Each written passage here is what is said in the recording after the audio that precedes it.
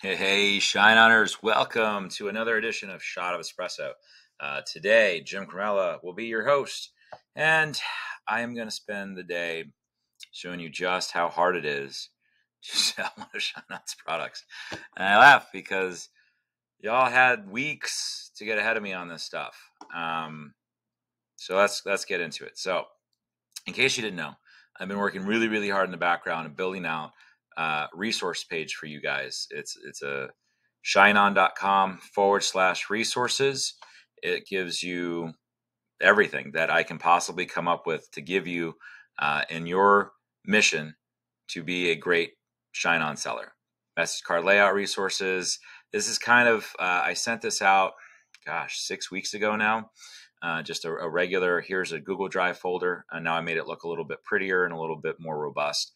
Um, you'll see that we have our best practice guides here, uh, as well as seasonal guides. So right now we have uh, Father's Day, and I will be doing one for wedding season as soon as I wrap up the Father's Day uh, stuff. Okay, so uh, for those of you who pay attention to Shot of Espresso every single week, you will have seen some of this stuff before. So going into message card layout resources, you'll go to this page here, and it looks oddly uh, familiar. This I built out just for this particular page. These are our two best layouts. So as far as um, how you should lay your cards out for if you're doing message card stuff, this is how we sh- you should do it. Uh, this I gave you. This is not out of um, my opinion. This is all based on sales. So these are your best selling background colors of all time on On. So it's this uh, gold, uh, sort of like old papyrus looking colored uh, scroll, if you will, sky blue, white, navy blue, black charcoal, and on down the line. And I gave you all of these templates that are now accessible by clicking here.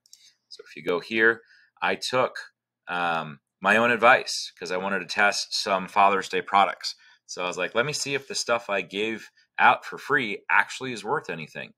So I took this background design, which again is freely available off of clicking. You click click here, and this loads up here.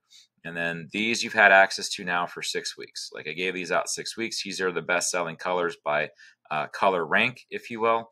Um, so I chose this one, black background two. That's what it looks like. So I took that background. And then I went to the Father's Day resources page, which looks like so. That's what the Father's Day resources looks like. And I watched this video, which I posted um, two weeks ago. So, four weeks ago, I told you about message cards. And two weeks ago, I showed you about uh, this Father's Day video. Okay. And in this video, I talked about this particular phrase on this particular Canvas product. And so I was like, well, I'm going to take this background and this phrase and make this product. See that again. Dad, for all the times that I forgot to thank you, for all the special things you do, for all the words that sometimes go unspoken, I need to say, I love you. Message card background template. That phrase, all I did different was add this little icony thing of where a dad's taken all of his pieces and given them to his son. To my dad, for all the times that I've forgotten to thank you, for all the special things you do, for all the words that sometimes go unsaid, I want to say, I love you. Love your son. Now, message card template. Which template is this? That would be this one on the right. Okay, so that's my product. And then took my message card and I put it on one of the OpenWork watches because we announced that a little over a week ago and I wanted to see if we could sell this new product. So I made this. This is our new product that I've been running traffic to for a little over a week now. Actually, it's right around a week. So this is our product page. You can see that this is the standard rendered image. Thing, the big call out here is this template is a little bit different than our default. This is um, variable, so if I change the price and it goes to 45, this would change to 45. Um, we are working on being able to make this product template publicly available for everyone. Uh, so stay tuned. In the interim, here's the key component besides the buy box it's this on the product description. I've added the phrase. So type out your phrase in your product description. I then found this video in the Canto folder. We give access to you all. So you have access to all these things. You don't want to put the video here, put a, a really nice picture of just the watch. Or I would put someone wearing the watch, which again is in the Canto folder. So here's a fun little video of the watch showing it move. Super cool. And then this is the standard description, product description, but I made it to where each sentence is its own thing. So sentence, space, space, sentence, space, space, and I broke it up. Then I decided to highlight the message card so that if they're having a hard time seeing it here, all I got to do is scroll down and they'll be able to see the message card up close and personal. Then again, same thing, product description, product description, and then a really cool up close picture of the watch followed by product specs. Now, if I had an image in Canto or in our rendering engine when you upload new products, if I had an image that was rendered, so like our Love Knot has this, and a few of our other big necklaces do, they actually have the product specs called out on this image, and that's what I would put here as this image. So this is the product page that we're using, which ultimately led to me running tests on Facebook. And this is what they look like. I did, these are all broad. All of the ones that I ran are broad. Let me see if I can, I don't know if I can make this. I think that is small. Sorry, I can't make my face any smaller. Uh, I'll move it as we talk. So we've got all broad. So what does that look like? What does it just, what does it look like? We have our ad set. So one campaign, campaign budget was $50. You can see this was a a pretty good scale, and I ended up just killing it because I decided that I would. I don't really have time to actively manage this. The purpose of this was to show you that it'll work. Um, but you can see our standard testing budget here was at fifty dollars. Okay. Okay. So then we had one sale here. Um, later on, I tried scaling up to uh, actually was up to a thousand dollars, and it didn't do as well, so I bumped it back down to two fifty. Uh, I went really aggressive on this to see how aggressive could we get on our scale. Again, if I can find the info, I will let you know it. All right, so the budget on testing was fifty dollars, one campaign. So this should this when we start testing is fifty dollars, highest volume uh, or value as the campaign bid strategy ad set, website, pixel purchase event, schedule the following day that you set the ad up to 6.30 Eastern Time. Who would I target? Women, 1865. Why? Because this version of the product was to dad from daughter. Okay, so I had a couple of different angles, a couple of different products that I tested. What does the ad look like? Jim, if only you would show me what the ad looks like. Then all of my problems would be solved. Okay, I'll show you the ad. This is the ad. Looking for the perfect gift for your dad? Get 50% off. Click shop now. And then guess what? You shop now and it goes right there. No further. Then it's Hold on. looking for that perfect gift for your dad. Look no further. Then it's this beautiful message to my dad for all the times that I've forgotten to thank you, for all the special things you do, for all the words that sometimes go unsaid. I want to say I love you. Love your daughter. Look at this beautiful, absolutely gorgeous, open work skeleton watch fully automatic, no battery involved, heavy duty, 100% crystal dome, full grain, black leather band. It comes in this absolutely gorgeous gift box. LED light to make it nice and bright, even in the lowest of lights. Perfect gift for the perfect dad. Look at that movement. Again, if you're looking for a great gift for your dad, you can't get much better than this. All right. So that's your ad video. The difference between this ad video and other ad videos that I've done is I split it. So you can see this was a minute long ad. Let me move me up over here so I can play with the bar. So for about the first 20 seconds, I focus almost exclusively on the message.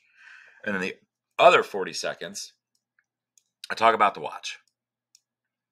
How great it is, how amazing it is, it's a great gift, all that stuff. You know why I talked about the watch?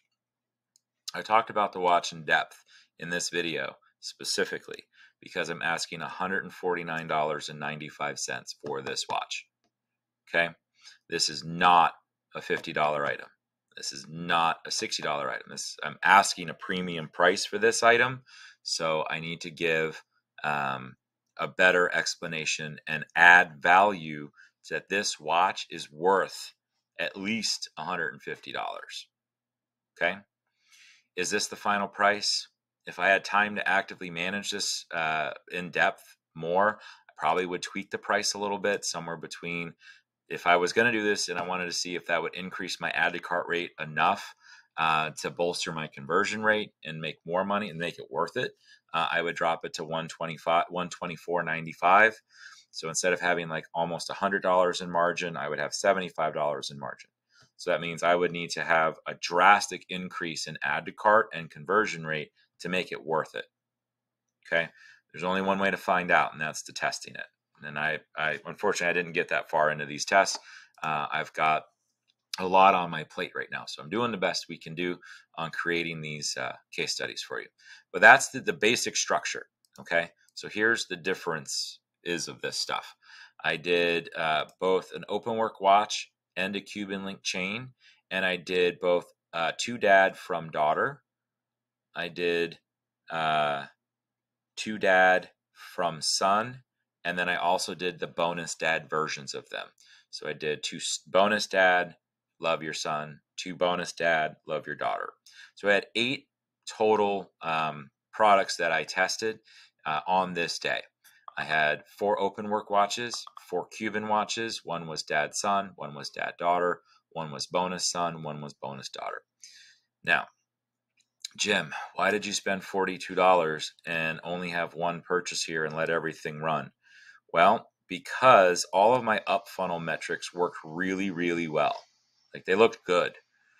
So, in an ideal world, your CPMs should be somewhere between 15 and $30 I'm well underneath on my account average right now for this day. It was down at $11.62.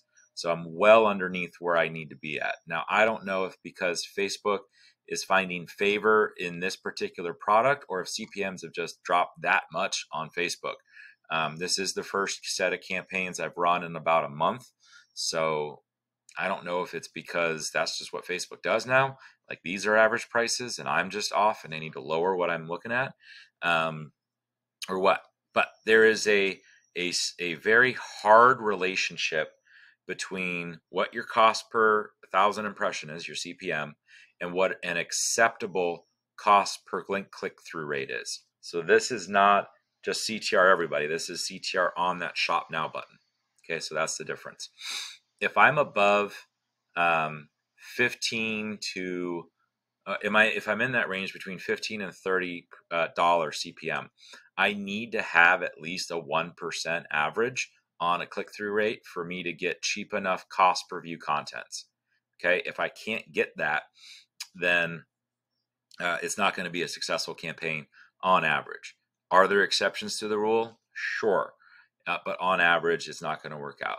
However, when you have below a $15 average CPM on your account that you're testing, and you can accept a below 1% total average on link click through rate. So 0.84% is totally okay when your CPM is $11.62 on average. All right, so what are we looking for on cost per content views? Right now, we really want to see a cost per content view below $3 and in a perfect world below $2. So like this one's a pretty good look uh, from cost per view content. This one does pretty well. This one would be really good. Uh, and this one would be really good. Okay, these ones aren't great, but they're within line, so I let them run because it's below $3. If this is above $3 after at least $15 in spend, I would kill it. It's not going to happen. Okay, Now I move to add to cart. Add to cart should be, again, in an ideal world, uh, below $20 or below. So if I'm below $20, I'm going to let this, this Mama Jamma run. Now you could see that on here, on Dad's Son, this was only one add to cart on day one.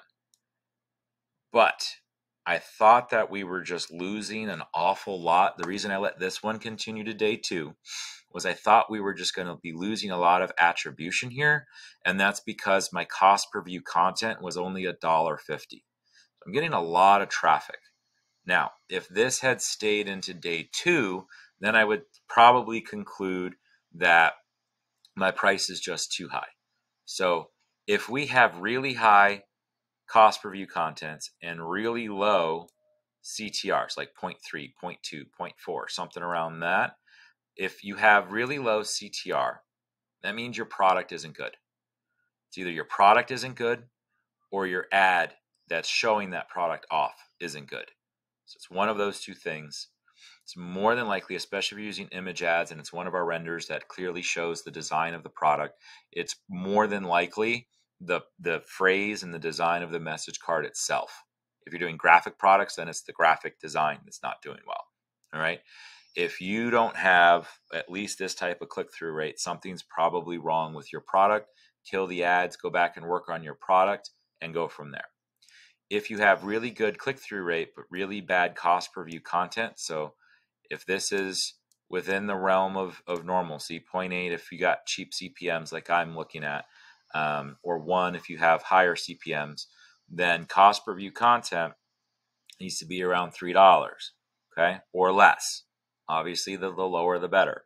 Um, if across the board you see things a bunch of uh, above $3, then it's more than likely due to your CPM cost being super high. So if this is low and this is within, uh, and this is where it needs to be, but your cost per view contents are high, that means your page isn't loading. You're either getting a bunch of bot traffic, which hasn't really happened on Facebook in years, um, or your page isn't loading or having a hard time loading, like your page speed is really bad. Now, if you are have your view content and that's within under three dollars, you got several of them under two dollars. Uh, your add to carts you should be looking at around the $20 mark. If you get into this $40 mark for an add to cart, more than likely that's not going to work out and it's probably related to cost. So if you have good traffic going to the page, but your add to cart rate is really low, which would result in a high cost per add to cart, similar to this thing 28 content views, only one add to cart I would let this run one more day in case some of these add to carts were bad attribution. Um, but if it doesn't fix itself quickly in the next day, I would just cut it. Okay, because that then that usually means your price is too high. Now, if all of the open work watches that I were running were $41 or $0 because nobody added to cart, then I would conclude, okay, my price is too high. I need to lower the price. Make sense? Okay. But if we look, We've got open work, $7. Open work, $21. Open work, $14. So I don't have a price problem here. Right? So if I if all of my open work watches look like this where we had good traffic and not good add to cart rate, I need to lower the price. It's the easiest thing I can do. Okay? But because I have good content views and all the other instances of the watch at that price all have good add to carts, I don't see a price problem. I see this as an attribution problem or a, a first day jitter problem, right? And then within my pricing for where I'm looking at, $40 uh, cost per purchase is an ideal world. Okay, so that's day one. That's why I left everything run uh, on day one. So let's go to day two. Day two, no sales. That's not good. Not one sale for all of day two. So what do you do? Well, you kill the Cuban link because I don't have a $100 margin on the Cuban chain. Kill the Cuban chain. Kill the bonus. It just didn't look like it was working that well. And let the rest of the stuff run.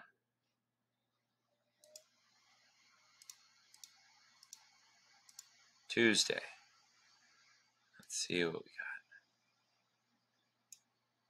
Purchases. I now have five purchases. I have a nine ROAS on one, I have a six ROAS on the other. Why why did that happen, Jim? Like this one didn't even have a sale on it until today. Now I got three purchases on it. Well, again, I think there's something wrong attribution wise with this particular product. Because if you look, I only have one initiate checkout and three purchases. And I can conclude on this day, I had three sales on this store. So it matched. So why did that happen? And my conclusion is that because I was running the exact same audience on all eight products, that the stuff, when it's running on all eight, I'm competing with myself in the auction. So by turning all the stuff out that was competing, I don't compete anymore, right? Therefore, I'm I'm not outbidding myself. I'm getting the good traffic all in one. Now, why is it that this could work really well and this could work really well? Because it's two audiences and it is all targeting broad. The difference is, is these are targeting males because of son, these are targeting females because of daughter right? So it's actually it's one giant audience, but split into two. Males get the dad, the son version. Uh, females get the daughter version. That's why that worked. Okay. So now we go. All right, maybe I should scale this thing. I was getting ready to go into. Um, there we go. Got another sale there for that day. And then I was like, you know, for Thursday, I'm going to have this, uh, getting ready for this mastermind, and I want to see if I go aggressive scale, what would that do? Would that do anything for me? So I bumped it up to $500 budget each. Now, on here, you can see that my ROAS is not good, right? So, one thing you want to take into account is with this attribution stuff on Facebook.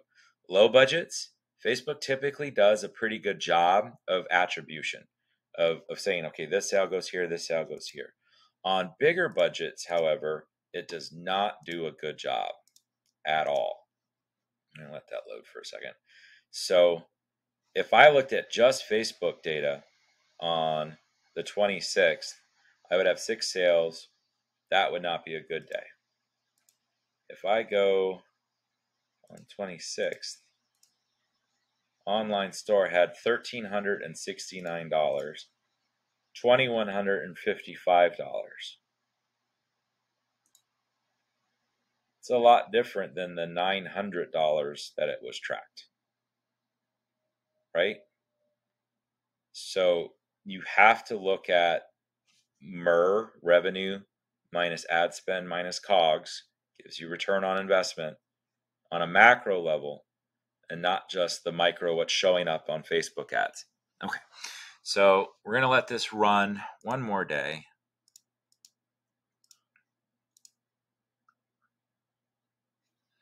Four track sales, one track sale, except had $1,855 in sales. So again, we spent a little bit of money, made a lot more money. Okay. That's it, guys. That's our test. And now we're just uh, fiddling around with scaling techniques. Here's what I tried. I tried going from 500 to $1,000 a day. That did not work um, on the one. It absolutely killed the dad to daughter one. So I lowered it back down to 250, and then I'm just going to focus on dad to son. Uh, I scaled dad to son from 500 to $1,000. It did okay, uh, slightly above break even. Second day, it did better. Uh, and then this morning I scaled it from a thousand dollars to five thousand dollars. Just see what happens. Spent about thousand dollars, made about eight hundred dollars, and I'm like, okay, I'm not going to play this game. It's also a, what day is today? Tuesday. Um, Tuesdays are bad days to try to do aggressive scales. I was just impatient and I wanted to see if I had cool stuff I could show you on this video. So what's the strategy now? We're just going to run uh, open work dad son broad uh, for a budget of 500 bucks and see what happens over the next few days if that uh, evens out. Now, I am running an audience expansion in here, and you can see that um, a lot of these didn't really work out. I got one sale. And I also got two add to carts. So I had pretty good add to cart rate. I'll probably end up killing long term this Walmart audience because, again, that's above where I would like to be at. My CPM is super cheap. My click through rate's not that great though, which is causing our cost review content to be high. So we'll see what happens over time. I'm going to let it percolate a little bit. You can see our loss of attribution here. No add a cart, no initiate checkouts, but oh, here's purchases. So we'll let it run. That's barbecue. So that's instead of just broad interest, I did a or broad no interest. I did barbecue as an interest, and I did Walmart as an interest. Um, let it run, see what happens with it. We'll give it a couple of days, see if any any of those uh, really pique the interest of buyers and get some consistent buyers out of it. Um, but that's Father's Day. That's my Father's Day test. If I was media buying, I would not have gone so aggressive in the scale. The fifty to five hundred dollars, I would have still done um, because I've seen where if you go from 50 to 60 or 50 to 75, sometimes you, you have really the same probability of success going from $50 to $75 as you do going from $50 to $500. And that's usually a 60 ish percent chance of success. So, what does that mean? That means every time you, you drastically increase the budget or increase the budget at all, then you have a decent chance of it not working out. That's why most people say, well, just duplicate and change the budget off the duplication. Um, I wanted to test Facebook, and that's all part of life and learnings that I can give you.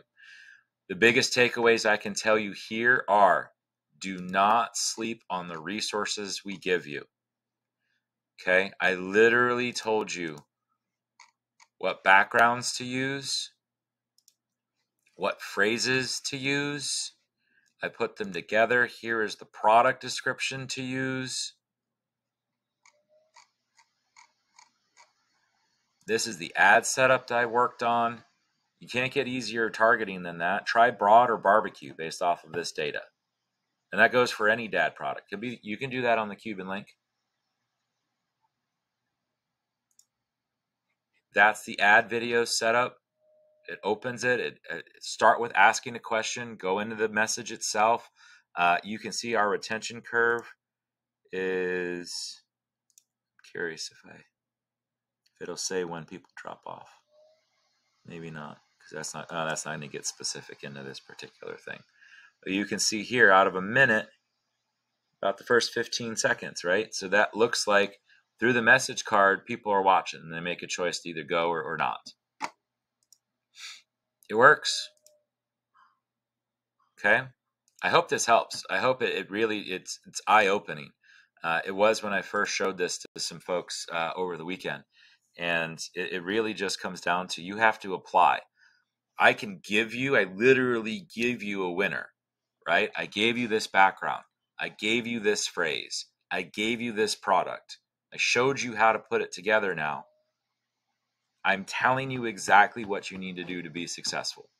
You are the only person that can make it happen. I can't do it for you, not unless you hire a coach. You hire a coach, then they can help you walk through the steps, step by step by step by step. And if you're good enough, we got a coach that I can refer you to as well that he will scale for you. Right? Like we we've got as much, we're giving you as much information as we can and at some point you just got to pick the ball up and run with it. I believe in you. I believe that you can do this stuff, right? That's why I wanted to show it to you. There's nothing held back. Go for it. You want to take my card? Good luck. Go. Do it. You have to act, right? We all have dreams and aspirations. And if you don't act on your plans and you just get stuck in the analysis zone of things, you're never going to go anywhere. You're never, you're, if you take one step and then the next step and then the next step, guess what?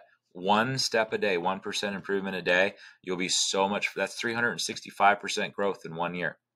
And I stole that from some self motivated guy. Anyways, uh, I'm going to get off my soapbox. Y'all are awesome. Thank you so much for watching this. Uh, I do hope it helps. If you have any questions, please feel free to tag me underneath this post. Uh, and as always, stay shiny out there.